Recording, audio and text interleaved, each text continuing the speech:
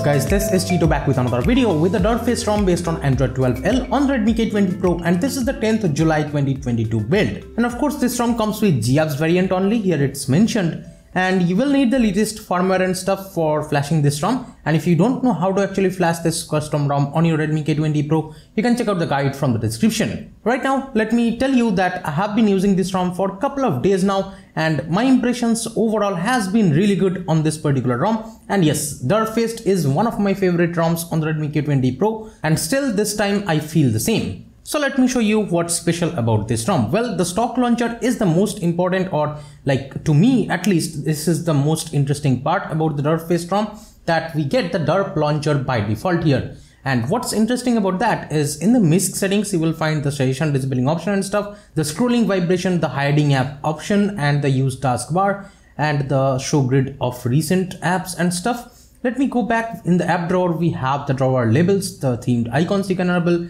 In the home screen settings, we'll get the double tap to sleep anywhere in the home screen. That's the most interesting part, I would say. And here we also have the desktop labels and stuff. You can customize it thoroughly however you would like to. Also, you can actually customize the icon packs and stuff. And from here, you can change the size of the icons and the fonts. And in terms of the notification dots and stuff, you can enable all those. Now here, let me show you that you have the double tap to sleep but first of all, let me just enable the always on display from the quick toggles. I'll show you the quick toggles in detail later on. But first, let me show you, as you can see, this is how the always on display works. And yes, double tap to sleep anywhere in the home screen is working fine. And even the double tap to wake is working perfectly fine here. And if you're noticing the fingerprint scanner speed, it's amazingly fast. Just notice even from the always on display, it's just amazingly fast. And if you're wondering if there is the fingerprint like fingerprint scanner on screen off, yes it's there. As you are noticing i just tapped the fingerprint scanner over here. Even when the screen is off it unlocks super fine with the fingerprint scanner even with the like screen off FOD feature. By the way to the left of the home screen this is pretty similar. We get the google's discover page and swiping up gets you to the app drawer. This is working perfectly fine. You can search for any particular app over here and swiping down gets you to the quick setting panel. And this is a default wallpaper of this particular rom. And let me actually show you that we have these Derpfest wallpapers and you will get this all like owl kind of art over here looks beautiful i would say. I have been using this one. Right now let me talk about the widgets. Yes the google's clock widget and stuff they are working fine. As you can see this is the bigger kind of version of the google's clock widget. And yes tapping on them it does this kind of animation. Looks beautiful. And everywhere the ui is just like buttery smooth no problems whatsoever that i have faced and even the other widget that I use is working perfectly fine here. Now talking with the quick setting panel, this is how it looks like. We have the Wi-Fi mobile data, the Bluetooth toggle and stuff. And talking about the Bluetooth devices, this is a Boat 411 ANC over here. And as you are noticing, it shows the Bluetooth battery icon right there. Also in the quick setting panel, it shows the battery percentage of the Bluetooth device. So yes, Bluetooth devices are working perfectly fine. Even the wired headset, the Bluetooth headset, everything should be working great over here. Even the speakers, if you have some, yes they are working fine. Even the inbuilt phone speakers are really loud on this particular rom. No problems that i have faced. And while i'm playing a music it looks like this. It looks beautiful in the lock screen. And here as well in the quick setting panel it has this kind of ui it looks beautiful overall i would say. Even over here if i show you that as you can see this is how the music playback actually looks like. You can play or pause or hit next or you can switch your audio device if you want to. Just notice how beautiful the UI overall looks. Also the dark theme is there and you can actually use the pitch black option in the dark theme. Auto rotate is there, the night light hotspot, the always on display toggling option. Yes, the always on display on charge is there as well. And the screen recorder is there. We have the device audio and microphone audio recording at the same time. But for some reason, it doesn't do the Android 12L kind of animation. I don't know why. And even here, if you're noticing, yes there is that frosted glass kind of effect in the power menu and of course there is the advanced reboot option. You can directly reboot to the recovery or fast boot but it doesn't do that kind of animation over here for some reason. I don't know why but yeah that's how it is. We have the do not disturb the data saver the battery saver and stuff and the google home controls. Extra dim feature is there and there is the sound toggle. If you tap and hold on it we get the volume panel just like this and you can expand the volume panel from here. And of course you can switch the audio from right here. It looks weirdly right now not really sure why but yeah it works fine and we have the DC dimming and the high brightness mode or the outdoor brightness mode. Works great. We have the reboot or like reboot recovery and stuff toggle over here. Really handy features. And of course you can edit and like add any other toggle that you would like to add. Talking about the about section it's pretty familiar and we have the Derpfest logo up top. And the platform version shows as android 12l of course. And even here if you make this clock to like 12 o'clock it will show android 12l over here. And here we have the face version as 12 official Shinju still and we have the maintainer's name Anurag Bhaumik. So huge thanks to the developer for this amazing ROM. The security patch you are getting latest over here July 5th 2022. Here we get the stock kernel that's the Snap Lite kernel 4.14 version and the Linux status is enforcing here. In the system panel, this is how it looks like. We have the developer option stuff because I have enabled those. But in the gesture and keys, we get the gesture navigation. And in the settings, we have the swipe to invoke assistant. That should be working perfectly fine. And we got the left edge right edge customization. If you scroll down more we have the back gesture animation the haptic feedback customization or enabling option and the full screen gestures the IME button space. You can customize all these. Pill margin from bottom you can actually change that to highest to low. And we have the pill length and the pill radius customization so if you want really thick pill bar you can actually go super thick over here. You're noticing right now the pill bar is looking quite like thick and quite long. And we have the advanced gestures over here. You can enable the extended swipe actions. And we have all these like options for the advanced gesture options. So yeah huge amount of customizations are there even in terms of the gestures navigation. And we have the two button and three button options. One-handed mode is there. It works perfectly fine. You can even customize that from right here quick tap option is there. That's the back tap. Also the swipe screenshot works perfectly fine here. Let me show you. There's the share edit delete and the google lens and even the capture mode feature. Let me show you up close one more time. If i take a screenshot as you can see you got all these options. So yeah you can use any of them but this actually goes away really quickly for some reason. Let me scroll down more. We have the double tap to sleep and the playback control. Volume record wake and the disable power menu on lock screen. That's a safety kind of feature. We have the enable advanced reboot option and the quick torch and we have the press and hold power button for assistant. Then we got the pop-up camera customization. Here we have the calibration options. And with this of course you can calibrate the front camera motor if it's stuck or something. And we have the sound effects for the pop-up camera. Then we got the front camera raise dialog and the camera LED customization. That's pretty much it about the system settings now, in terms of the customization, yes, inside Dev Space, you will get amazing amount of customizations. Yes, I have showed you this customization panel a lot earlier. So I'm not gonna show you everything, but yes, you can guess this ROM has amazing amount of customizations. No issues whatsoever that you will face with the customizations over here. And even you get the FOD icon picker and stuff. I'll show you the icon packs of the fingerprint scanner icon. And as you can see, there is that OnePlus kind of icon. Then we have the Spider-Man kind of icons and a lot more options for these icons. Even the McLaren option is there.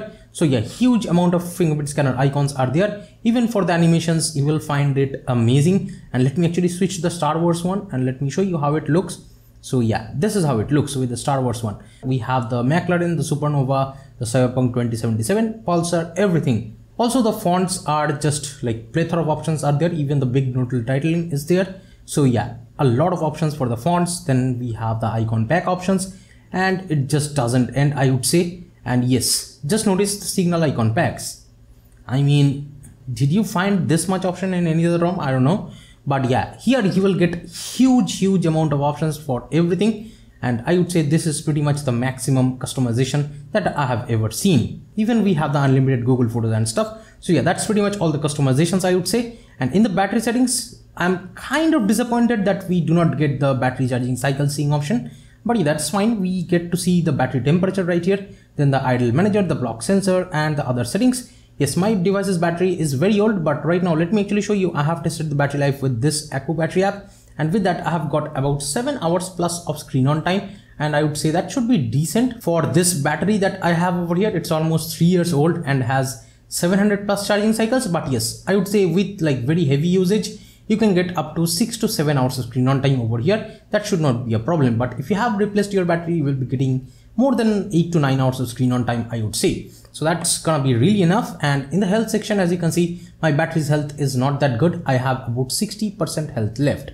in terms of charging, yes, fast charging works fine. I really like the charging animation over here. Looks beautiful. And yes, I definitely liked the charging animation. Yes, fast charging is working fine with 18 or 33 watt fast charger. It should be working perfectly fine here. In terms of the sound settings, this is how it looks like. We have all these media volume controls. If you scroll down more, yes, we do get the volume panel timeout option. You can actually customize that. Also the vibration and haptics, there are a huge amount of customization for these.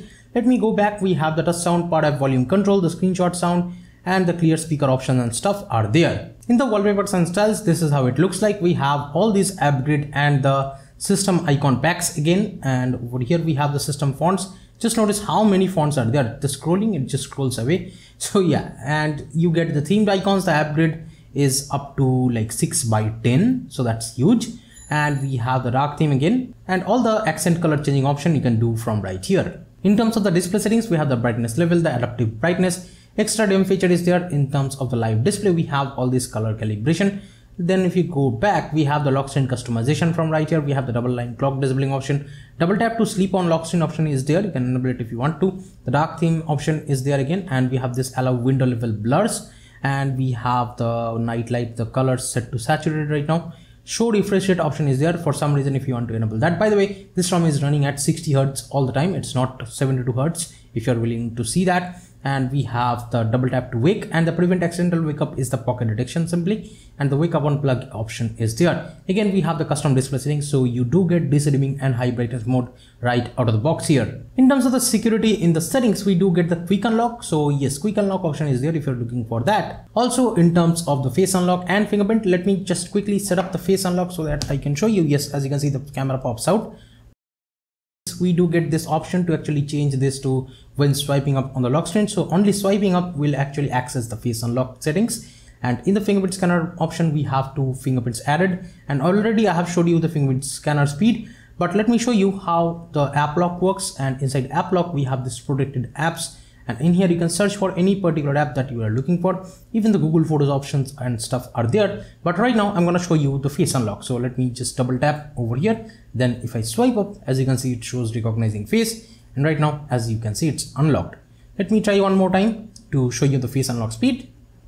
And yep it's working perfectly fine even with the face unlock. No problems whatsoever. Right now let me show you the app lock speed. And here if i tap to this telegram app as it's locked it shows this kind of UI it has a like bloody kind of look. Looks beautiful I would say and in the like fingerprint scanner if I tap as you can see it has unlocked the telegram app. So app lock has been working really fine no problems whatsoever with the app lock over here. Now let's talk about a very interesting part about this ROM is the camera the stock camera over here is a really interesting one. This looks different I would say. So I can't really see the camera's name but yeah this is how the camera UI looks like. This is a stock camera which is present. You can optimize for quality and latency. And in the video settings we have all these settings again. And we can shoot up to 4k option is also there. There is the flashlight option and also there is the include audio enable EIS all these options. Really cool. And let me actually show you if I switch to the front camera we can shoot up to 1080p option right here. I would say this camera is decent. You can control the exposure and the zooming and stuff and even with the normal camera mode it's actually the self illumination or self illumination and yes it works fine. So i would say yes this is a really cool kind of camera. You can actually use this. You can check out the shutter speed if you are willing to see that. Just notice as you can see it has taken the picture. So yeah this is a really good camera but i have installed the gcam this is a 8.5 gcam it's been working perfectly fine here. As you can see you have all these options. Even the night sight mode and stuff is working perfectly fine. No problems whatsoever with this gcam. And I would say you can definitely install any kind of gcam that you would want to. But yes I'll definitely link this gcam in the description. Do not worry. Even with this gcam there is a really cool feature that you can use. Like this microphone switching option is there. So if you're recording videos and stuff if you have connected to a bluetooth device you can use that bluetooth device's mic to actually if you're vlogging or something and also there is the full hd 60 fps option and 4K 30 fps options. Overall, I would say the UI actually stays really smooth, no problems whatsoever that I have faced and it's running at 60 Hz default and we have like the split top mode and stuff if you're looking for those. As you can see, split top is working perfectly fine. You can scale the apps just like this and you can scroll between both of these apps, no problems whatsoever. And if you're looking at the recent panel, this is how it looks like. And in here, we also have the clear all option, the Google Lens option and the screenshot option. But yes the clear all and stuff does not appear once you have a split top app open for some reason i don't know why. But yeah this is how it is but both the app stays in the memory even when you're using split top so that's really cool. Talking about the basic things like the DRM info and stuff and yes it has L1 certification so you can stream Netflix or Amazon Prime videos in 1080p without any problems here. Also if you're wondering about the banking apps yes SafetyNet passes right out of the box over here so it should not give you any problem while using banking apps right out of the box in this ROM. And here are the end-to-end Geekbench score with a CPU stress test on this particular build. So if you ask me what do I think about this particular ROM, I would say yes, definitely it's a daily driver the battery life is great it has double tap to sleep anywhere in the home screen very convenient feature and it has all the animations and the customizations just makes the Derpfest ROM one of the bests for me at least and yes if you are a customization lover this ROM is gonna be amazing and a very convenient ROM I find like based on Android 12L at least for the Redmi K20 Pro. Let me in the comments what do you guys think. Give this video a thumbs up if you liked it. Subscribe to the channel if you have not yet. This is Tito from KTN Tech signing off for today and I'll be catching you guys in the next one. Bye now.